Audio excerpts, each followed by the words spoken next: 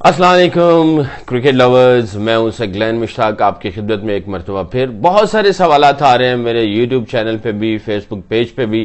بہت شکریہ آپ کی رائے کا۔ آپ میرے چینل کو، میرے پیج کو لائک کرتے ہیں اور اپنی رائے سے آگاہ کرتے ہیں۔ بہت سارے پاکستانی کرکٹ لورز یہ سوال کر رہے ہیں کہ پاکستان کا چانس سیمی فائنل تک پہنچنے کے لیے ہے یا نہیں ہے۔ معجزے ہوتے ہیں اور اس سے کوئی انکار نہیں کرتا۔ اور یہ بھی میرا خیال ہے ایک معجزے کے ہی بالکل قریب لگتا ہے مجھے۔ ٹاپ چار ٹیمیں جو ہیں، ان کا بری طرح سے ہارنا ہے نیچے والی ٹیموں سے۔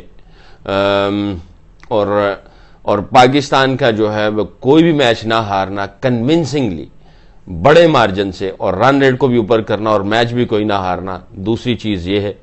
اور میں یہ سمجھتا ہوں ان دونوں چیزوں کو ہوتے ہوئے آپ انکار نہیں کر سکتے، ہو سکتی ہیں یہ ساری چیزیں۔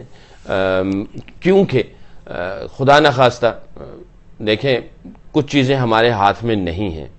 انجری کا ہو جانا، یہ ہمارے ہاتھ میں نہیں ہے۔ ویدر ہمارے ہاتھ کے اندر نہیں ہے۔ انجری ہو جائے، یہ جو ٹاپ فور ٹیمیں ہیں، ان میں سے جن کے آپس میں میچ ہیں، جو پوائنٹس ابھی میرے سامنے نہیں ہیں جو تاکہ میں آپ کو دکھا سکوں مگر انجری کا ہو جانا، موسم کا خراب ہو جانا، اور اور رن ریٹ اوپر نیچے ہو جانا، یہ ساری چیزیں، پلس پھر پاکستان کا آؤٹ سٹینڈنگ کھیلنا ان کی طرف موسم بھی اچھا ہو اور ان کی انجری بھی کوئی نہ ہو، ان کے ایشوز بھی کوئی نہ ہو، ان کا سیلف بلیف بھی بہت ہائی ہو، بڑے مارجن سے میچ جیتیں تھوڑے سے سلیم چانسز ہیں کہ شاید یہ سنیک ان کر جائیں۔ مگر میرے لیے سب سے زیادہ امپورٹنٹ چیز یہ ہے، جو میں یہ سمجھتا ہوں، پاکستان سیمی فائنل کوالیفائی کرے یا نہ کرے۔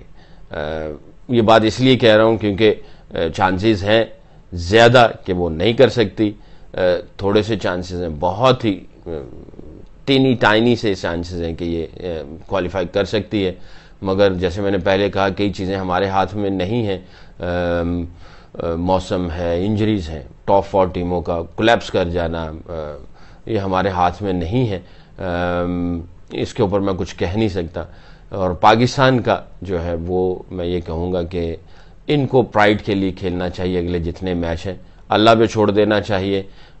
اس وقت جو میڈیا میں چیزیں چل رہی ہیں اور جو باتیں ہو رہی ہیں، اس کے باوجود اور جو سلم چانسز ہیں، اس کو سامنے رکھتے ہوئے ان کی پریپریشن کیسی ہے؟ ان کا سیلف بلیف کیسا ہے؟ ایک ہوتا ہے، کھلاڑی کا جو اپنا بلیف ہے، اپنا گیم کے اوپر بلیف ہے، اپنے اوپر بلیف ہے۔ اور اور اپنا جو ہے وہ، ذہن کلیئر ہے، اپنی سوچ کلیئر ہے، اور اپنا پلان اس کے سامنے کلیئر ہے۔ دوسرا ہے کولیکٹیولی پوری ٹیم کا بلیف میں ہمیشہ یہ مثال دیتا ہوں کہ اگر تکڑی کے اندر دونوں ٹیموں کے بلیف کو ویٹ کیا جائے، تو جس کا بلیف زیادہ وزنی ہوگا اس کا پلڑا جھک جائے گا، اس کا پلڑا بھاری ہوگا، وہ ڈومینیٹ کر جائے گا۔ تو اس وقت یہ دیکھنا ہوگا کہ پاکستان کا سیلف بلیف کتنا ہے انڈیویجولی بھی اور ہر پلیئر کا بھی۔ اور ان کا ذہن کتنا کلیئر ہے، اپنے اپنے پلان اے کے اوپر۔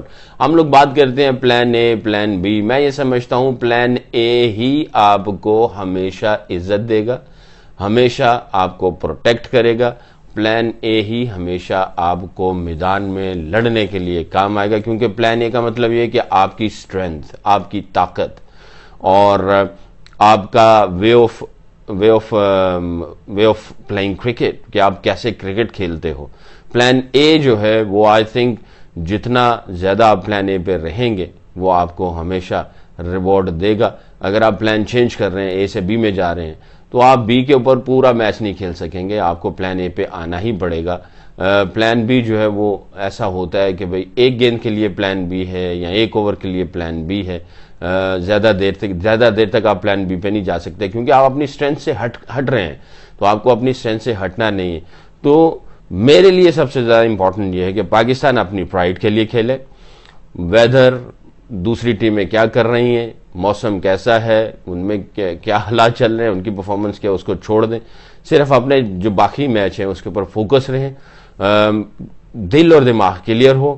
پلان اے کے اوپر زیادہ تر رہے اور جو ان کا اپنا نیچرل گیم ہے، اس نیچرل گیم کے اوپر جو ہے وہ پورے میچ کو کھیلیں۔ پلان بی کی نوبت نہیں آنی چاہیے۔ پلان اے کے اوپر ہی رہنا چاہیے، اپنی اسٹرینتھ پہ ہی رہنا چاہیے۔ بہرحال یہی کچھ کہوں گا۔ بہت سارے کرکٹ لورز پاکستانی، وہ پوچھ رہے تھے کہ پاکستان کے سیمی فائنل کے لیے کیا چانس ہیں؟ معجزات ہوتے ہیں یو نیور نو مگر پاکستان کو اس وقت اپنی پرائڈ کے لیے کھیلنا چاہیے اور مل کے کھیلنا چاہیے۔ میڈیا دوسری چیزیں کیا کہہ رہی ہیں، اس کو ڈک کر دینا چاہیے لیفٹ کر دینا چاہیے۔ اپنا رول کیا ہے، اس کو سامنے رکھیں۔ اینی وے اجازت چاہوں گا، اپنا خیال رکھیں۔ میرے یوٹیوب چینل کو سبسکرائب کریں، فیس بک پیج کو لائک کریں۔ آپ کی رائے میرے لیے بہت ہی باعث فخر ہے۔ آپ اپنی رائے سے آگاہ کرتے رہیں۔ انشاءاللہ آپ کے سوالات کے اوپر اسپیشل پروگرام بھی کریں گے۔ گزارش پھر کروں گا۔ دعا، سوچ اور فکر اس کے اثرات ہیں۔ سب کے لیے دعا کریں، سب کے لیے اچھا سوچیں۔ سب کی فکر کریں، ساری انسانیت کی، کہ مزے سے رہیں۔ کسی کو کوئی دکھ تکلیف نہ ہو، کوئی پریشانی نہ ہو۔ محبت کی جیت ہو، نفرت کی ہار ہو۔ اچھائی کی جیت ہو، برائی کی ہار ہو، امن کی جیت ہو، لڑائی کی ہار ہو۔ اپنا خیال رکھیں۔ گاڈ بلیس یو سب دا پلا سب دی خیر۔ رب رکھا گڈ سکلین مشتاق ہائٹس، جدید طرز زندگی اور فیملی کی ضروریات کے عین مطابق ہے۔ پریئر ایریا اور قرآن اکیڈمی، وسیع اور کشادہ کوریڈورز، لابی اور ایکسس ایریاز، رہائشوں کے لیے محفوظ اور مہمانوں کے لیے وسیع کار پارکنگ، سرویلنس اور main technology security system, fire security system, backup power کے ساتھ پیسنجر اور کارگو لفٹس، فرش اور کچن میں سنگ مربر اور گرینائٹ کا استعمال پینرابک ونڈوز اور بیلکونیز جہاں سے ہل اور لیک کا نظارہ کیا جا سکتا ہے۔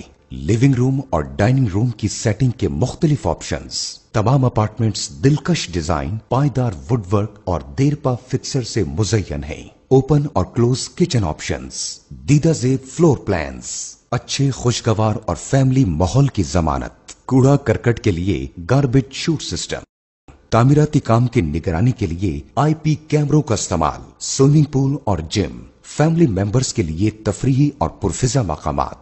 ہم بہترین سے کم کی ضمانت نہیں دیتے۔ اسی لیے ہم انڈسٹری کے بہترین کانٹریکٹرز آرکیٹیکٹس اور پروجیکٹ مینیجر سے کام کروا رہے ہیں تاکہ تمام رہائشیوں کی حفاظت اور سہولت کو یقینی بنایا جائے۔ اسی طرح سکلین مشتاق ہائٹس میں انتہائی اعلیٰ درجے، پائیدار اور قابل اعتبار کمپنیز کا میٹیریل استعمال کیا جا رہا ہے۔